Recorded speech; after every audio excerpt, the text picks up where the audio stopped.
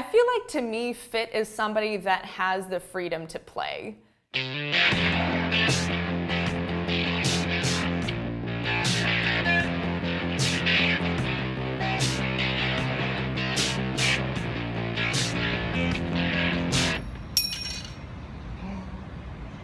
Oh,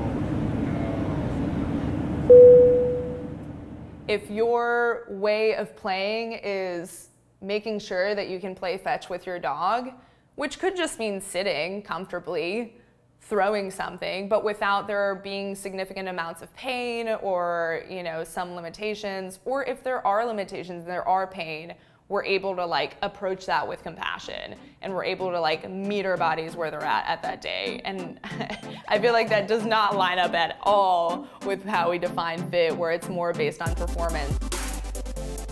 I feel like a lot of gyms lead with the discipline and lead with the like, this is how it has to be, you were doing it wrong. You know, you have to say, let's say, even if you're like, we're present with our bodies, it's like, you're doing it wrong, we have to stay present, you know? and instead being like this is normal see if you can like soften into the experience of like just for a few seconds here there are totally times that we know that you're not even going to be in a place to work on that and you just need to go in sweat and in the meantime, your phone's sitting on the box and you're kind of checking your mail, whatever. But we try to allow space for all of that to happen because, you know, if you come in here and you're like, I'm hungover today, but I know that it would maybe feel good for me to move my body somehow. Maybe it's not exactly what's on the board, but I kind of will do something.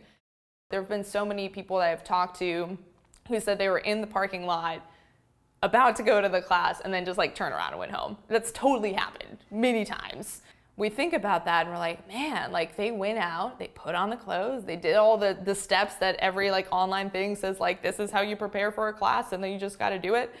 And I think ultimately like internally from the like self-perspective thing, it's it's more understanding that you're deserving of showing up to do something that may be difficult and like having somebody to just kind of remind you a little bit to lead with compassion be a little softer with yourself um, first and then what we actually do if you're like, well, well, how do I, what are the steps to like get me connected with my body? Um, we spent a lot of time on this as a team, like working on this pretty recently. Anytime we go into a team meeting, we really focus on like point to point, um, like I don't want to say corrections, but just point to point directions. And what that looks like is let's say you're in a plank and I'm to come up to you and say, move your hands wider. And so what you have there is a verb, your body part, something, you know?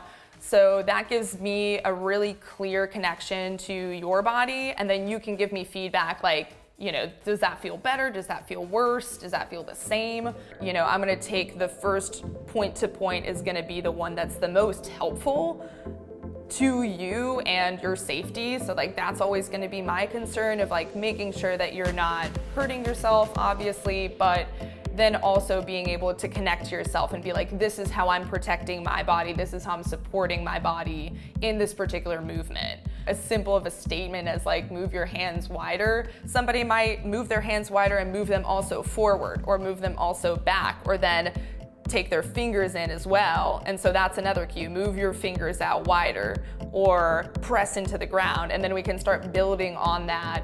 Um, if they're like, ooh, I discovered that for my squat, I like having my feet a little more narrow and that feels better on my hips.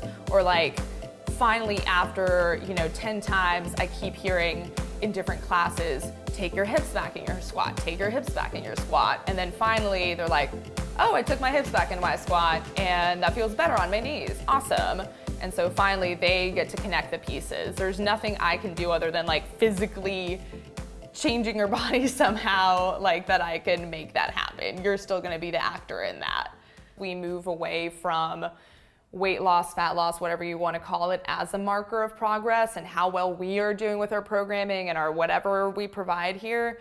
Once you take that away, now you have all of this like kind of qualitative, not quantitative stuff. This is not just um, the body positivity movement as like making people feel okay about being, you know, okay, just kind of like meh, just passing by. It's it's truly like helping people take charge of their actual health status, whatever your range of wanting to be in your body is, like that you are able to move in it.